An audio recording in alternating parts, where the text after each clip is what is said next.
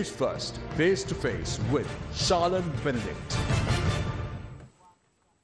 Hello there, very good evening. Welcome to another edition of Face to Face. We're joined this evening by parliamentarian Harshana Rajakaruna from the Samagi Jana Balawegaya. Uh, a very good evening, Mr. Rajakaruna, and welcome to the show. Getting right into uh, you know what's really happening these days. The big discussion nowadays uh, that quite shouldn't be a discussion is which election will come first.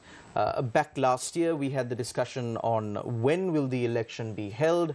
Uh, unfortunately, there was no election, uh, although uh, nominations were called in, lists were submitted, campaigns were started. There was absolutely no election, despite assurances, despite assurances from the governing party that elections will be held on time. Despite the parliament allocating money for the local government elections last year, it wasn't held. Now, fast forward to this year, the president himself came out at the start of the year and said, look here, we're having the presidential election first. We're going to have the general election right after that, uh, probably at the, uh, at the, at the beginning of 2025 or maybe latter stage of 2024.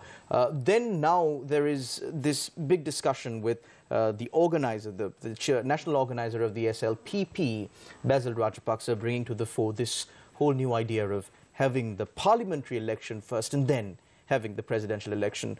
Um, according to, well, you know, your understanding of what really is happening here, do you think uh, presidential elections will be held first or? Uh, so, uh, first of all, thank you very much for having me today. Uh, good evening. And uh, regarding elections, okay, like you said, we are supposed to have had the local council elections last year. Last year. However, uh, it was unconstitutional and uh, they did not have the elections. So now 2024, we are talking about two elections, two national elections, uh, the presidential election. Constitutionally, they have to have it hmm. by October. Hmm. Uh, the parliamentary election, the, uh, uh, the executive, the president has the powers, the executive powers to dissolve the parliament. Hmm. Or else the parliament parliamentarians should put a proposal hmm. uh, to dissolve the parliament. So those are the only two ways that a parliament election can hmm. be held. Uh, yes, uh, Basil Rajapaksa was pushing for a parliamentary election, but uh, what we get, what we hear, and what we get to know is that uh, President is is uh, hoping to have the presidential election first. Hmm. I mean, when it comes to SJB, hmm. us, I mean, we believe that uh, we don't even mind having both elections on the same day. Hmm. I mean, we can save a lot of money, hmm. uh, and it is important to have a, a new fresh mandate hmm. for both, hmm. because actually, if you consider the president, he is not with a people's mandate that hmm. he's uh, in that seat and uh, even the parliament. Uh, you know, in in two two years ago, uh, there was riots all because people were uh, not happy with the, uh, how things were running, and unfortunately, um, we didn't have any elections. But hmm. it's the same old people that uh, was led by a new person hmm. who's running the country. Hmm. So it is important to have a fresh mandate hmm. uh, when it comes to the presidential uh, as well as the parliament election. Hmm. So SJB, we don't mind having both uh, even together, hmm. uh, but by the looks of it, I think it will be the presidential election. Well, we've seen a lot of, um, for the lack of a better word, crazy things happening uh, during the run up to an election. We've seen people say a lot of controversial things, and it seems like that season has almost started now uh, with the recent statement made by former President Maithripala Sirisena when he claimed that he knows the exact people who were behind uh, the Easter Sunday attacks. Now, um, the former president has given a statement uh, to the CID, but of course, this is uh, such a revelation coming uh, from none other than the mouth of the president at the time the attacks took place is cause for concern. It was uh, traumatizing, maybe even to uh, the victims and, and the loved ones of the victims who, who uh, lost their loved ones in the attacks when they find out that the president at the time now really knows who these um, you know masterminds are. Do you think there is any truth to this statement? Was it just banter? Was it just another political statement that popped up? What is your take on this? I was quite surprised to hear what he had to say. At first, I was wondering why did you just not say it before? Hmm. Then he came and covered. Uh, Clarified. It's saying yeah, that saying uh, that he got. He only found out about it three weeks ago. Three weeks ago. Hmm. So even three weeks was quite a long time, I hmm. think, uh, for uh, for a person like that, uh, just to not mention it to the authorities. Hmm. And the first thing he should have done was not more than even coming into media, uh, that he should have gone to the police.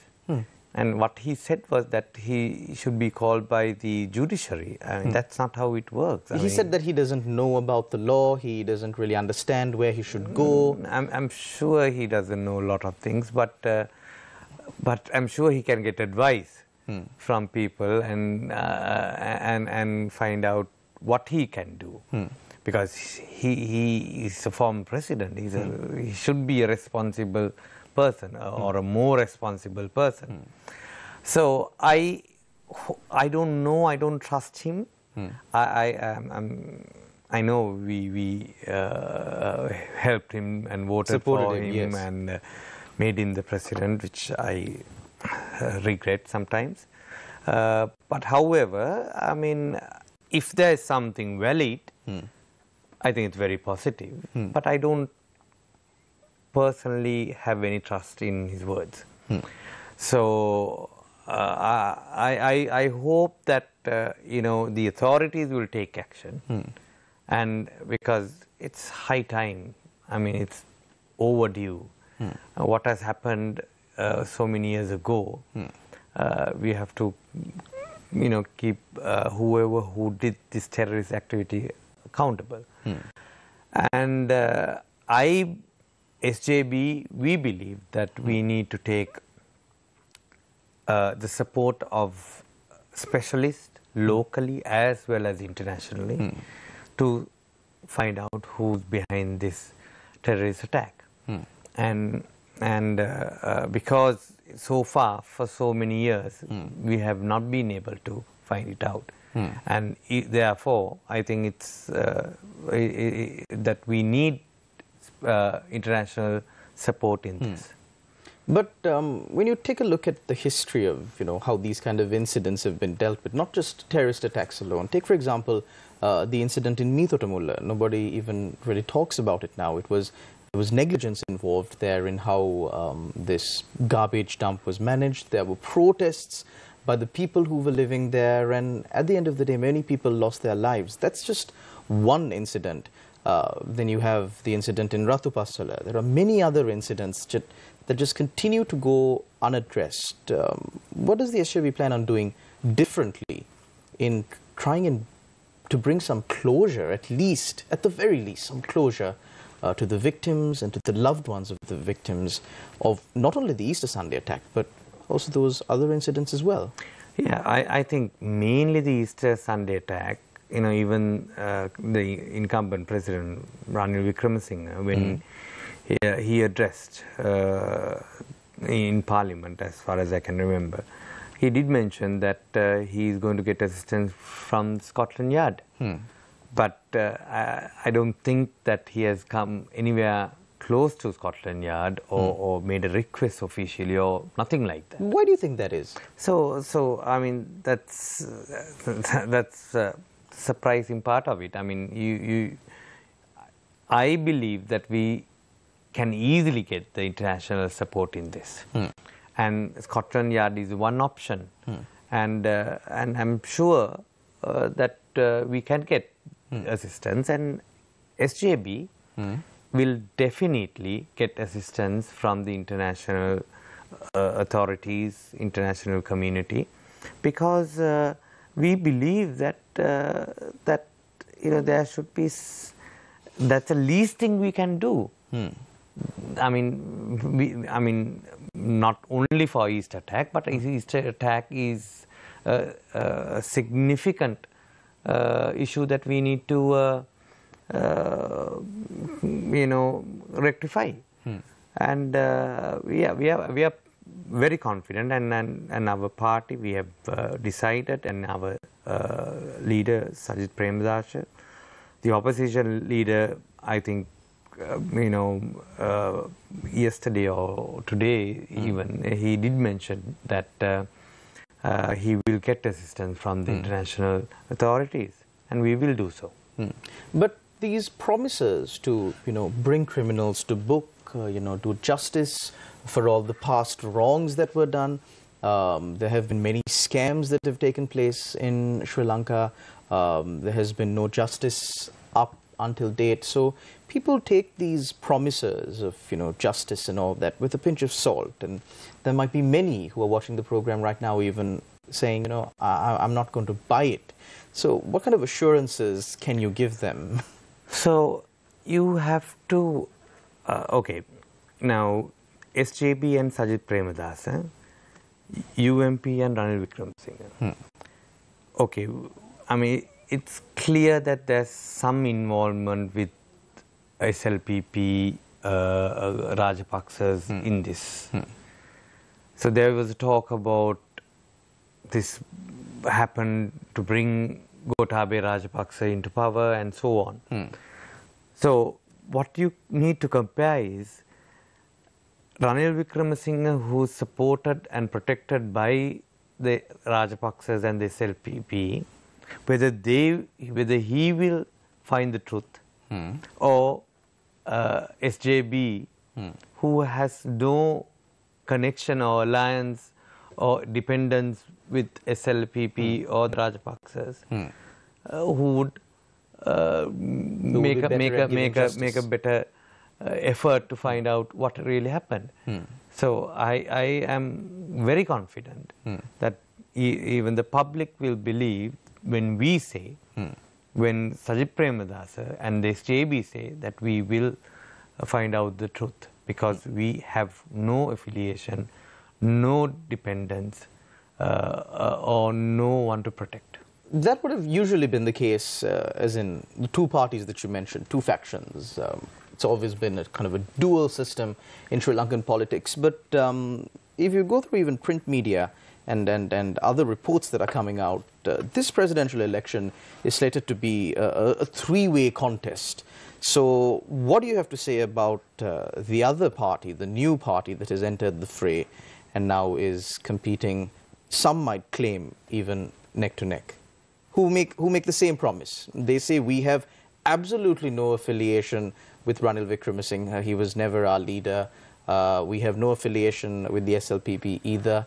So, what if they say that we are a better party to give justice or to do justice? I don't believe that uh, uh, JVP led alliance uh, will be able to deliver. Uh, there, there is the same old team. They have put NPP uh, uh, to ca- camouflage the JVP and the history be, behind the JVP. But still, the decision makers are the JVP leaders. So there's absolutely nothing called NPP. It's just to camouflage uh, what they have done in the past.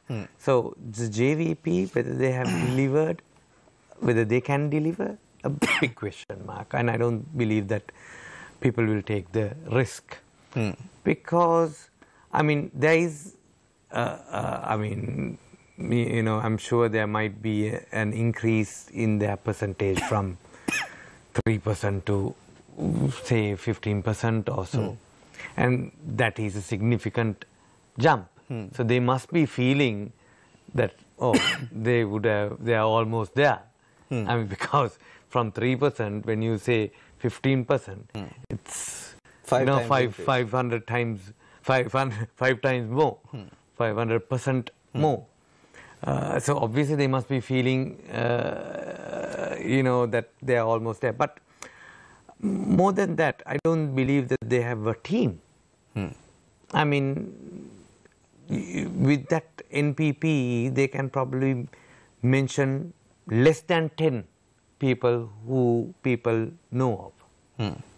So without a team, uh, I don't believe uh, that uh, you know they can deliver. And and I believe we have a honest, hardworking leader, Sajith Premadasa, the opposition leader who has delivered when he was a minister, when he was a, uh cabinet minister, when he was an opposition leader.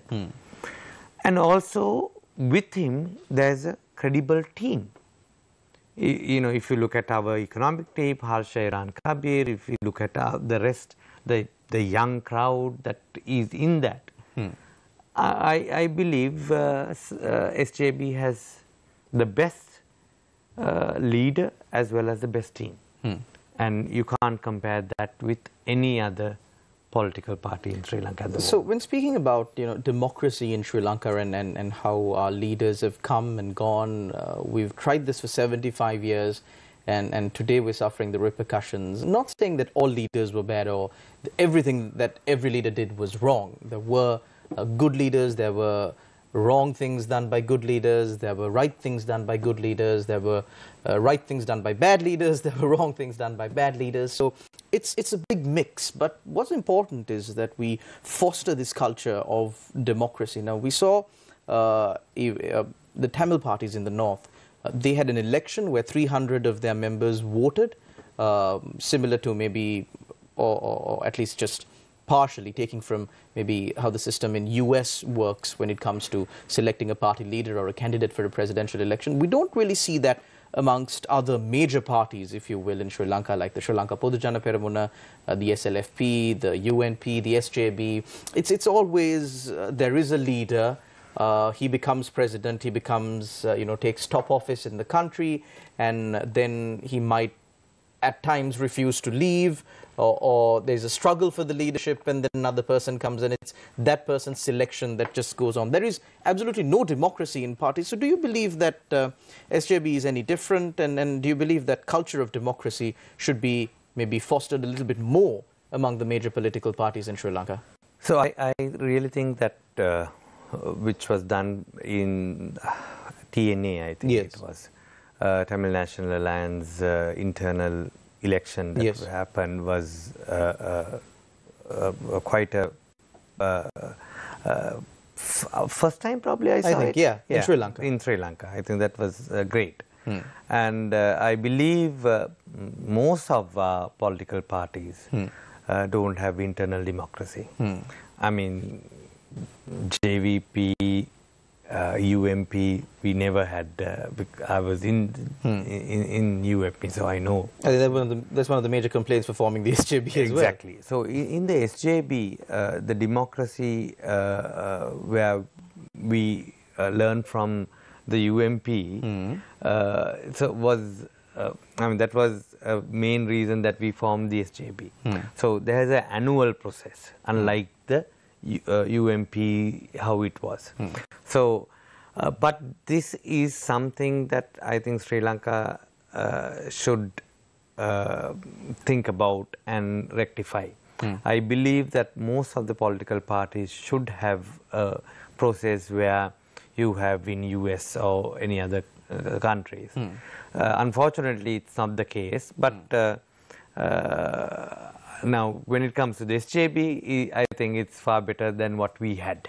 But In the UNP. I still believe that there's more uh, that we can work on. But usually, what we see in Sri Lanka is that these kind of topics, you know, internal democracy in parties, they're all discussed at uh, cusp of an election, and right after the election, you know, come dawn the next day, everything is forgotten. You know, it's hunky dory. Whoever won, you know, will enjoy the spoils of the war and and, and rule the country for the next five, four years. Uh, but do you think there is actually room this time around for something substantial to happen, at least in that in that perspective? So that's this is the thing. To be realistic, if you win, it's uh, very much less that you will uh, question But if you lose, then only you start questioning the uh, internal democracy and other internal processes. So that is the reality. Uh, but I, I, I believe that there should be more uh, time spent, and mm, you know, we, we really don't have that internal democracy in most of the political parties. And that is something that, uh, as a country, as uh, we should uh, look into. So again, speaking about the election, uh, this time, like I said before, people are saying it's it's going to be a, a three-way contest. If I may, you know, maybe blankly ask you, who do you think uh, biggest competition for the SJB is at this election? Uh, so far, I, I think uh, in JVP led NPP has some sort of uh, campaign is done, is happening. Uh, so I mean, eh, I, I, I think they are the only party that has started some sort of political activity with the SJB. To campaign for the election? Yes. Okay. So other political parties have not done any. So the UNP did one rally, I think. I mean, they have brought everybody from the whole country and had one election in one one one Rally. meeting in uh, Kir- uh, K- uh, Yes. And Where uh, he actually criticized several uh, political parties, including uh, the SJB. Yes, yes. and uh, then, uh, but he, he had again, you know, done only one uh, rally. So uh, SLPP has not done a single. So, um, so I believe that uh, only two ac- active political parties are uh, SJB and NPP. Well, speaking about uh, uh, another major uh, political event or an event that was supposed to be about uh, the workers in Sri Lanka but has now come to a point where it's transformed into a political statement, if you will. Uh, the May Day rally is what I'm talking about. Uh, many view this uh, May Day rally as uh, you know an expression of their political power, their their status uh, at the time. And, and, and we have uh, the 1st of, of May coming up, the May Day rally. Uh, SJB has started planning already, or? Yes, so I'm also in the committee of uh, organizing uh, the steering committee of the May Day, and we are hoping to have it in Colombo. Uh, we uh, have not made the announcement yet, so that I I won't go into detail, but we are going to bring the largest. Uh, we're going to make sure that it's the largest rally uh, done by any political party and uh, uh, so it's going to be over 100,000 uh, supporters uh, coming into Colombo. So it's going to be a huge event, and that will show our strength. we have already done quite a lot of uh, meetings in in the recent past, from 2024. We had a very successful youth district meeting in Kurunegala. We had a, a couple of uh, uh, women's rallies, one in Kandy and one in uh, Galle. Uh, so we are having uh, a professionals meeting. Uh, then we are having another uh, women's rally in Badulla uh, next weekend, and we are having another youth rally in Kegalle, uh, and the May Day, uh, obviously, on the 1st of May. Uh, so, I mean, we, we, there's uh, a lot that we have been doing, and we are quite confident that uh, uh, we can win the next election, whether it's the presidential or the parliamentary election. This time around, of course, uh, given what Sri Lankans have suffered, they will be looking a little bit more closer at the policies that the SJB uh, is, is, is planning on implementing uh, once uh, or if they win the election and assume power.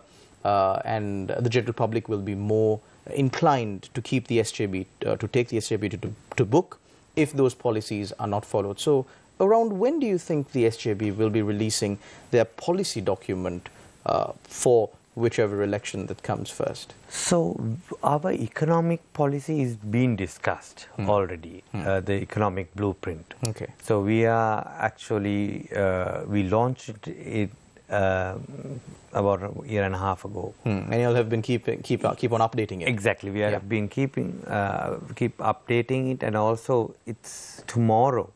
We have it in Ratnapura. Uh, so last uh, few weeks ago we had it in Matara and so on. So the economic uh, re- uh, uh, program is being discussed, but the overall uh, election manifesto will come close to the election. So uh, we have been um, forming few committees uh, headed by Eran Wickramaratne, and uh, proposals have been discussed. So uh, the final product will will happen close to the election. And um, well, of course, when speaking about what will happen after the election, it's it's it's uh, there's a higher probability, especially uh, at a, at a general election, if it comes first, or even if it does come second, uh, with what Sri Lankans experienced by just handing over. Uh, unfettered power, two thirds majority at a general election to the SLPP in the 2019 election. Um, the people are here now uh, partially because of cer- certain decisions that they made. Uh, and having given one political party unfettered power like that and suffering a consequence like this, it's more likely than not that the next parliament uh, will not be uh, or, or one party will not get absolute power in parliament, will not get the two-thirds majority. It was anyway an off chance, and especially after a, after a predicament like this, it's highly unlikely that the people will make that choice again. So, um, despite of how many seats that the SJB wins at the general election, um, what kind of political movements will the SJB willing be willing to work with? So I, I personally believe that yes, having two thirds is not necessary. I think you need two thirds when you want to make a, a, a constitutional change, and that constitutional change, uh, if it's pro country, the whole parliament will support. Yes. And at least the two thirds uh, we should be able to uh, uh, get if it's a good amendment. So, uh, I mean, uh, I, we are hoping that we will get the majority, and uh, we are confident that we will get the majority. And if we need to get two thirds, and uh, it will all depend on the amendment and and or the constitutional change that we will we are looking to do, and uh, we will discuss with the whole parliament. And uh, uh, if it's pro country, and we are confident that we will be able to get the support of other opposition parties also. Hmm. Because despite what uh, anyone really thinks of the current members in parliament or whichever political parties they support, come a general election and new members of parliament uh, are elected, uh, whoever members of parliament are elected are elected by the people and therefore uh, they do have a mandate uh, once they enter parliament. And of course, at this time of great economic turmoil in our country, it's important that our leaders also work together uh, despite sharing different views. Thank you very much, uh, parliamentarian Harshana Rajakaruna from the Samagi Jana Balawegaya for joining us this evening on Face to Face.